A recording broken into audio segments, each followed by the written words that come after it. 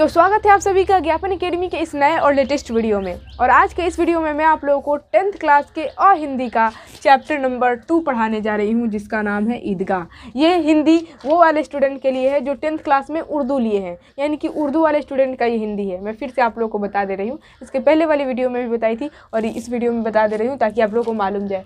जो student tenth class में उर्दू लिए रहते हैं ना, उनके हिंदी को बोला जाता है अ हिंदी। तो अ हिंदी का चैप्टर वन तो इसके पहले वाली वीडियो में आप लोगों को पढ़ा ही चुकी हूँ। अब इस वीडियो में हम लोग चैप्टर टू पढ़ेंगे, जिसका नाम है ईदगाह। और ये बहुत ही ज़्यादा इंपॉर्टेंट चैप्टर है। सबसे ज़्यादा क्वेश्चन इसी चैप्टर से उठाए जाते हैं। ये इम्पोर्टेंट और मज़ेदार भी है इंटरेस्टिंग है। इंटरेस्टिंग के साथ साथ इम्पोर्टेंट है।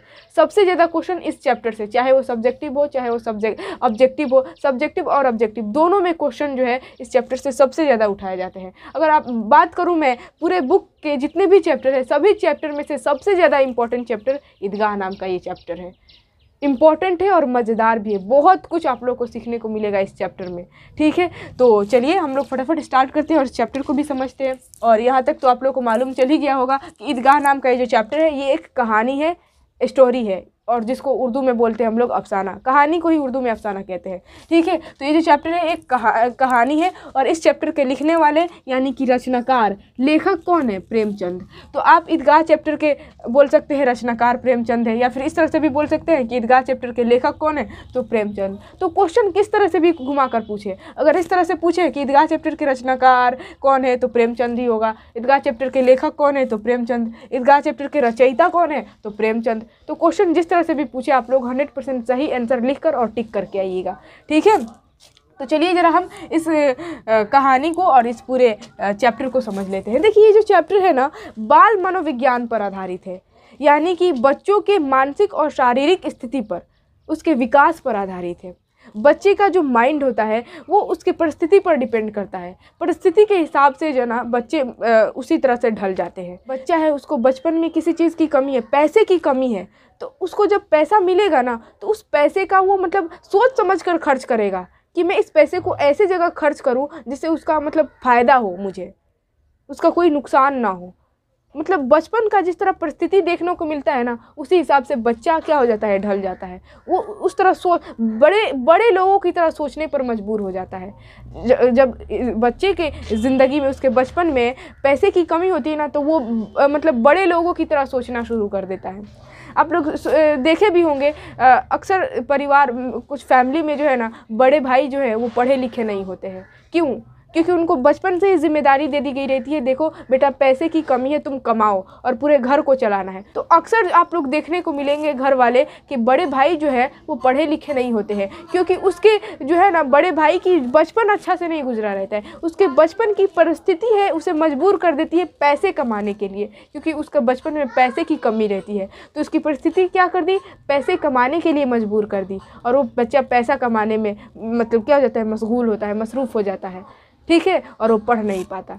तो अक्सर आप लोग देखेंगे कि बड़े भाई जो है ना घर के बड़े भाई वो पढ़े लिखे नहीं होते हैं। लेकिन वो सोचते हैं कि मेरा जो छोटा भाई है वो कम से कम पढ़ लिख ले। मैं तो पढ़ा लिखा नहीं मेरी अ, मतलब उस तरह मजबूरी थी मेरी परिस्थिति बचपन में उस तरह नहीं थी कि मैं पढ़ सकूँ। मेरी मजबूरी थी मैं पैसा कमाऊँ लेकिन मेरा जो छोटा भाई वो कम से कम पढ़ ले।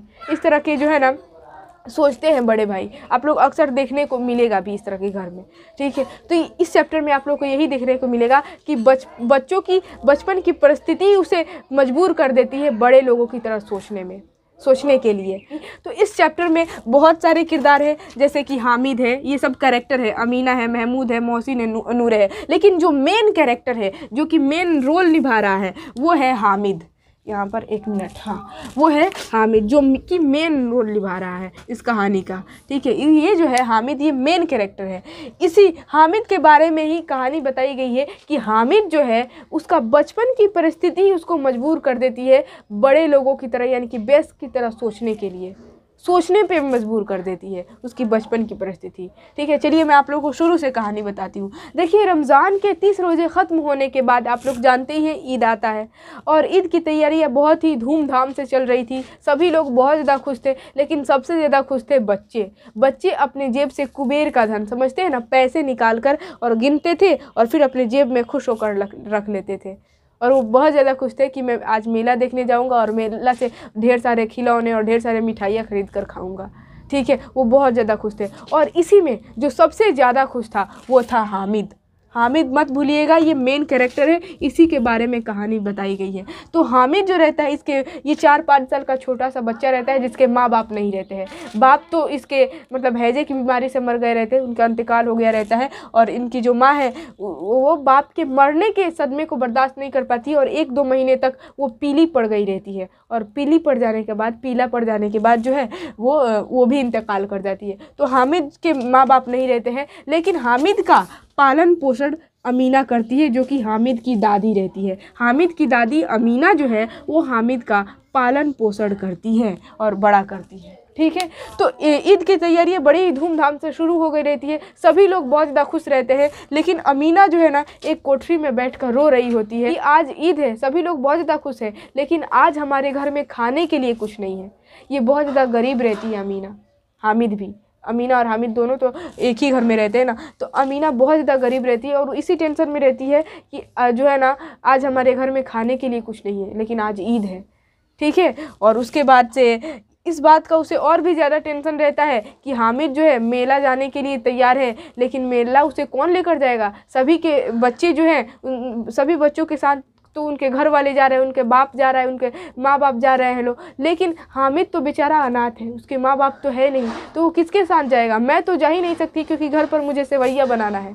और बेचारा अकेला नन्ही जान, तीन कोस चल उसे मेला जाना है।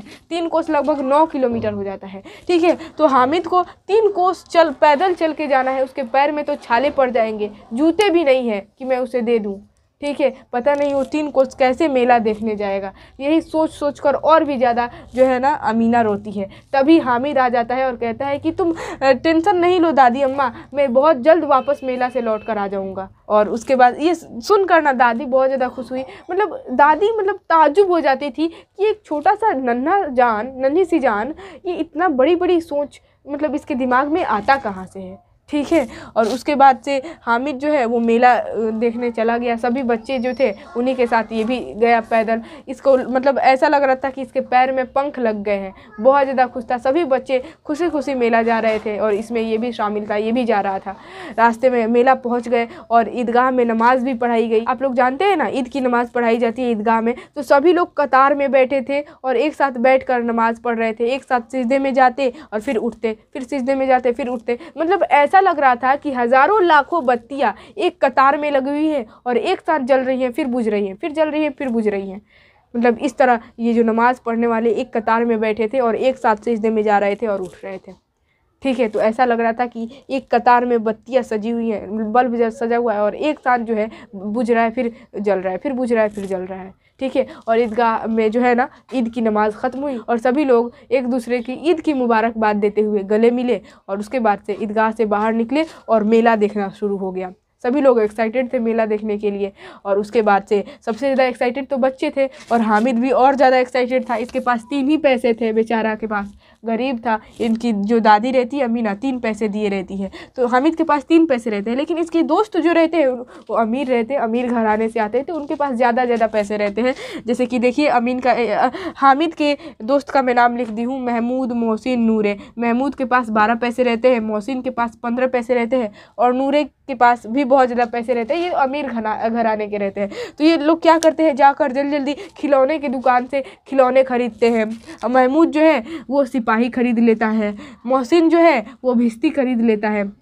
सिपाही मतलब समझते हैं, पहले मतलब मिट्टी का वो खिलौना बनता था ना, मिट्टी का सिपाही बनाया जाता था, गुड्डा बनाया जाता था, गुड़िया बनाया जाता था, वकील बनाया जाता था, वगैरह वगैरह। तो मिट्टी का ही बना था सिपाही तो महसू, महमूद जो है वो सिपाही खरीद लेता है, मोहसिन जो है वो भिस्ती खरीद लेता है। भिस्ती मतलब समझते हैं ना भिस्ती वो पानी पिलाने वाला चमड़ा का बनाया, जानवर के चमड़े से बनाया जाता है, जिसमें उसमें पानी भर दिया जाता है और उसको कहीं भी लेकर, टांग कर और लेकर जाया जाता है, उसमें पानी ही रहता है। जिस तरह भी आप लोग बोतल रखते हैं ना पानी रखने के लिए, बिल्कुल उसी तरह पहले भिजती हुआ करता था। ठीक है, और भिश्ती में ही पानी भरकर लोग एक जगह से दूसरी जगह लेकर जाते थे और रास्ते में प्यास लगती थी तो पिया करते थे। तो वो भिश्ती खरीदा था। नूरे जो है, वो वकील खरीदा था। वकील जो कि मिट्टी का बना था, ठीक है, जो कि हाथ में और सर पर वो ब्लैक कलर का ये लगाया था और हाथ में वो फ़ाइल लिया था। वकील आप जानते ही होंगे देखे भी होंगे तो मिट्टी का वकील खरीद लिया, ठीक है, और सभी लोग अपना अपना खिलौना खरीद लिए, और ये दे हामिद के पास तो तीन ही पैसे थे, वो क्या खरीदता, ठीक है? वो देखकर उसका जी बहुत ज़्यादा ललच रहा था कि मैं भी क्या करूँ? मैं भी सब बाकी बच्चों की तरह क्या करूँ? खिलौने खरीदूँ, जिस तरह महमूद मोहसिन नूरे खरीदे, उसी तरह मैं भी खरीदूँ। लेकिन फिर ये सोचने लगा कि उसके पास तीन ही पैसे हैं। वो क्यों ना इस तीन पैसे का सही जगह खर्च करे? अगर वो, अब देखिए किस तरह वो बच्चा सोच रहा है, ये हामिद किस तरह सोचता है, उसकी सोच देखिए।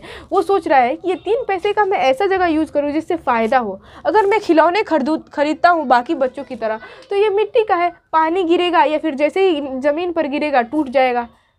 ठीक है? तो नहीं, ये ख़रीदने लायक नहीं है। तो हामिद जो है वो, उसका मन कर रहा था कि हाँ मैं खिलौना खरीदूँ। लेकिन वो, देखिए किस तरह ब्यास, यानी कि बड़े लोगों की तरह सोच रहा है कि अगर वो खिलौना जो है नीचे गिर जाएगा तो टूट जाएगा, या फिर उस पर पानी पड़ जाएगा तो वो ख़राब हो जाएगा खिलौना। तो उससे लेने से क्या फ़ायदा?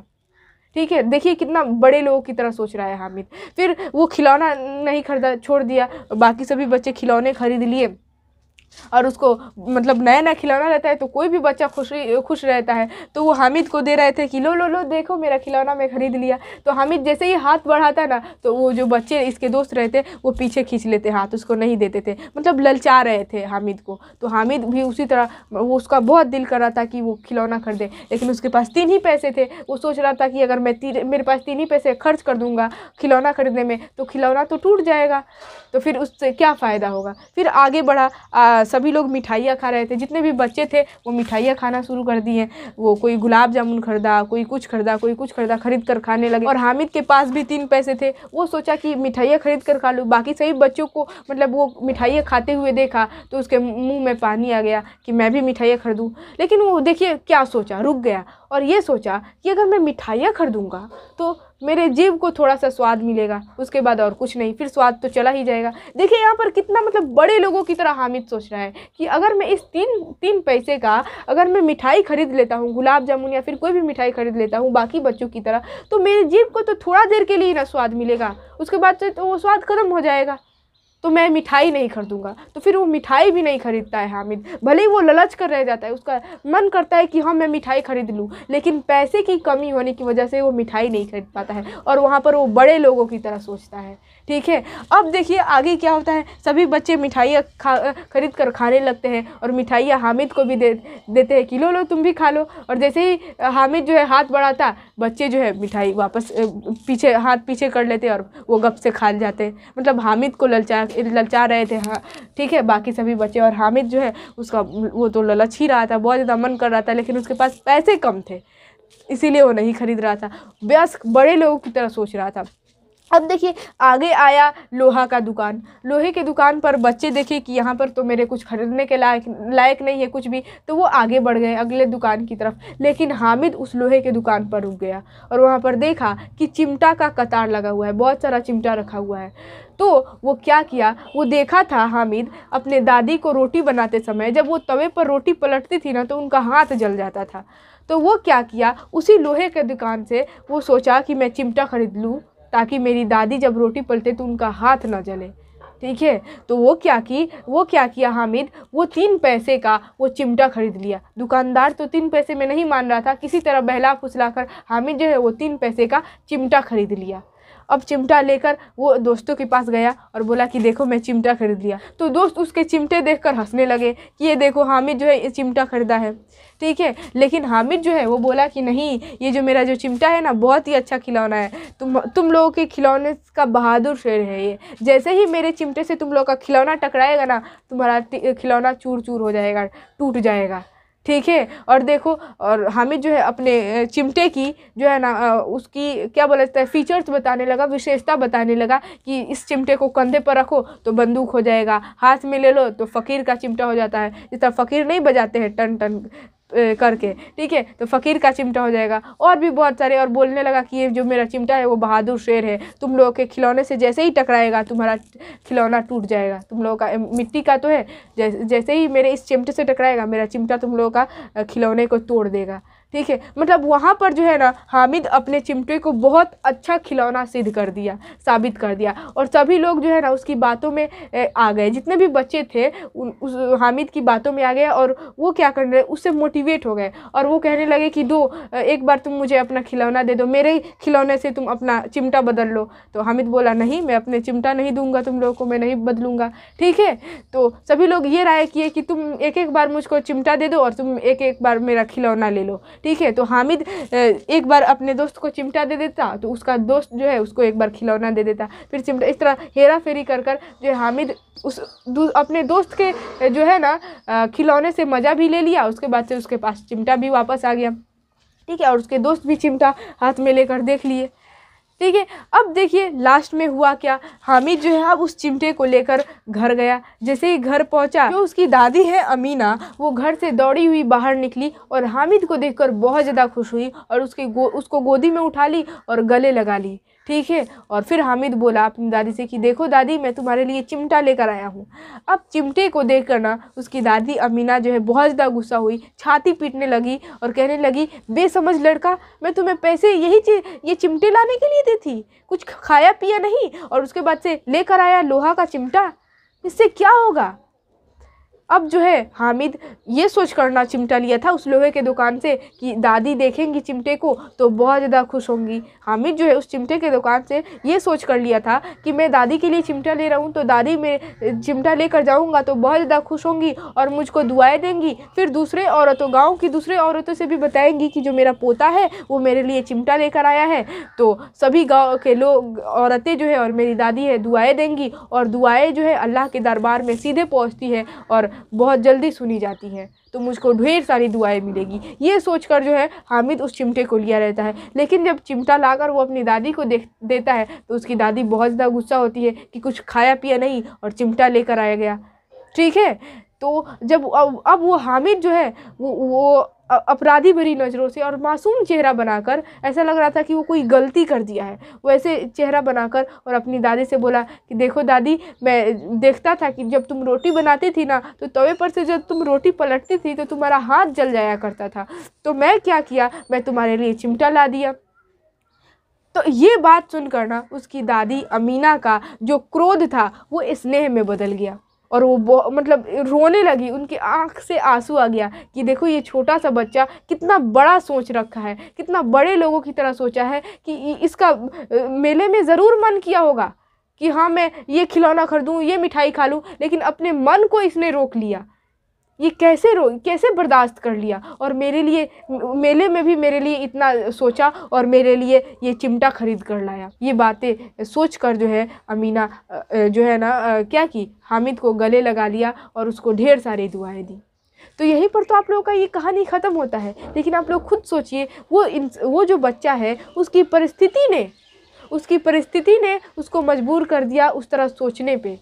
बड़े लोगों की तरह सोचने के लिए, बड़े लोगों की तरह सोचने पर मजबूर कर दिया उस हामिद को। और वो मेला जाने के बाद कुछ खरीद, कोई मिठाई या फिर कुछ खिलौने खरीदने के बजाय वो अपने दादी के फ़ायदे के बारे में सोचा, वो अपने दादी के भलाई के बारे में सोचा और वो अपने दादी के लिए चिमटे लेकर आ गया। तो इसी तरह, मेरे भलाई के लिए और आप अपने ज्ञान को बढ़ाने के लिए रिज़ल्ट बहुत बढ़िया लाने के लिए इस चैनल को सब्सक्राइब ज़रूर कर लीजिएगा, ताकि इस चैनल के माध्यम से, इस चैनल के साथ जुड़कर आप बहुत बढ़िया पढ़ाई कर सके और आप लोगों का रिज़ल्ट दी बेस्ट आ सके। ठीक है? और उसके बाद से इस वीडियो में मैं जो कुछ भी समझाई, आप लोग को समझ में आया और वीडियो अच्छा लगा तो लाइक ज़रूर कीजिएगा और उसके बाद से चारों तरफ़ शेयर कर दीजिएगा। कोई भी कंफ्यूज़न हो इस चैप्टर से रिलेटेड आप हमें कमेंट करके पूछ सकते हैं। ठीक है? तो चलिए, फिर मिलेंगे नेक्स्ट वीडियो में नेक्स्ट टॉपिक के साथ। तब तक के लिए जय हिंद और खुदा हाफिज़।